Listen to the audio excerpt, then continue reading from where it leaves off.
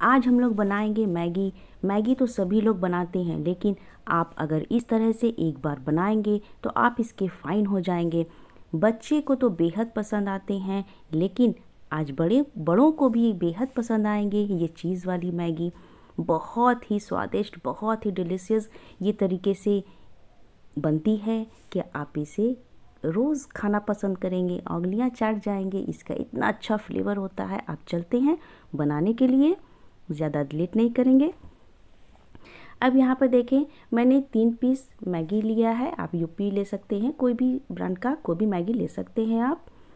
मैंने ले लिया है और इसमें कुछ मैंने वेजेस मैंने कट करके मैंने रख लिया है, जिसमें से प्याज है, छोटी साइज़ का बीन्स मैंने लिया है, थोड़ा सा कैबेज मैंने हाफ़ बॉल के करीब लिया है, गाजर मैंने दो पीस लिया है, शिमला मिर्च मैंने एक छोटे साइज़ का लिया है, सभी को मैंने लंबे स्लाइस में मैंने कट कर लिया था।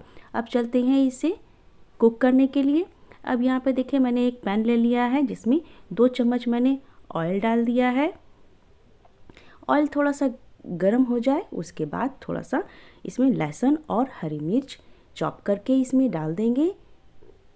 पाँच से छः पीस लहसुन की कलियाँ हैं और एक पीस हरी मिर्च है, जिसे मैंने चॉप कर लिया था। इसमें डाल दे थोड़ा सा इसका कलर थोड़ा सा चेंज हो जाए। उसके बाद सबसे पहले इसमें प्याज डालेंगे। इसलिए कि प्याज जो है, इसका कच्चापन थोड़ा सा ख़त्म हो जाए, इसलिए पहले प्याज इसमें डाल करके थोड़ा सा इसे कुक कर ले एक मिनट के लिए। ये देखिए, बहुत अच्छा सा ये कुक हो गया थोड़ा सा सॉफ्ट हो गया है। अब जितनी सारे वेजेस मैंने कट करके रखे हैं, अब इसमें सारे को डाल देंगे। इसी तरीके से आप इसमें डाल दें सारे वेजेस को और अच्छे से इसे मिक्स कर लें। इसका स्वाद बहुत आता है, लहसुन जो है बहुत बहुत ही टेस्टफुल आता है इसमें, इसलिए लहसुन ज़रूर से आप ऐड करें और इन सारी चीज़ों को अच्छे से मिक्स कर लें, चला लें। थोड़ा सा इसे कुक कर लें, दो मिनट के लिए, थोड़ा सा ये सॉफ्ट हो जाएगा।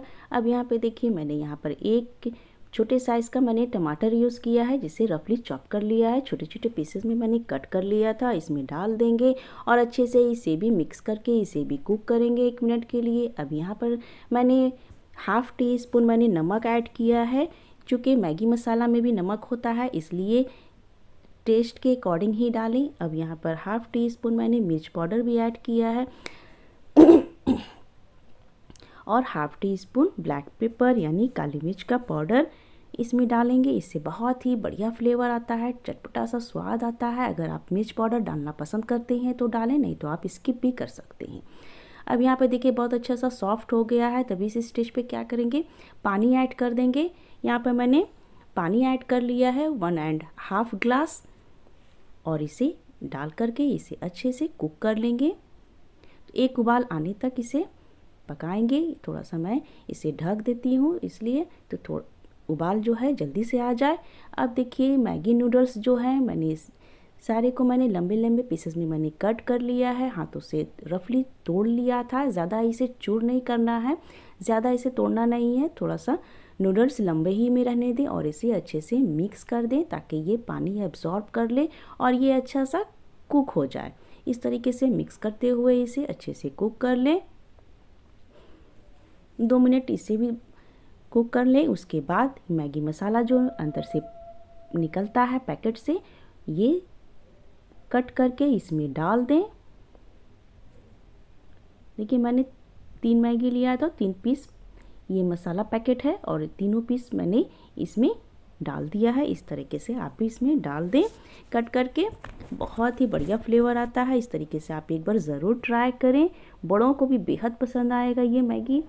इस तरीके से मिक्स करके इसे अब थोड़ा दो मिनट के लिए इसे भी अब कुक कर लें जब तक कि पानी थोड़ा सा सूख नहीं जाता है और आपका नूडल्स जो है बिल्कुल सॉफ्ट थोड़ा हो नहीं जाता है तब तक इसे कुक कर लें।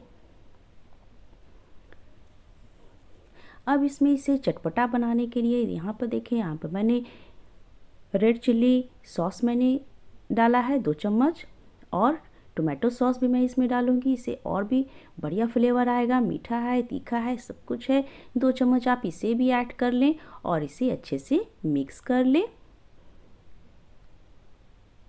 इसे अच्छे से मिक्स करते हुए आप इसे पका लें। बहुत बढ़िया लगता है ये, एक बार आप ज़रूर से ट्राई करें इस रेसिपी को। मैगी तो सभी लोग बनाते हैं, लेकिन आप मेरे तरीके से आप एक बार ज़रूर से बनाएँ और इसे अब और भी बढ़िया बनाने के लिए देखिए, मैंने यहाँ पे चीज़ मैंने यूज़ किया है। चीज़ को अगर आपके पास ग्रेट वाला चीज़ है, ग्रेटर किया हुआ है तो पहले से आप इसमें डाल दें। ये देखिए, मैं ग्रेट करते हुए इसे डाल रही हूँ। अपने अकॉर्डिंग आप, आपको जितना पसंद है, आप अपने अकॉर्डिंग यहाँ पर चीज़ आप ऐड कर लें और इसे मेल्ट होने तक इसे कुक कर लें, उसके बाद ही डिश आउट करेंगे। ये देखिए, बहुत अच्छा सा मेल्ट हो गया है, पानी भी सूख गया है। तो अब इसे देखिए, निकालने का क्या तरीका है? इस तरीके से आप निकालें।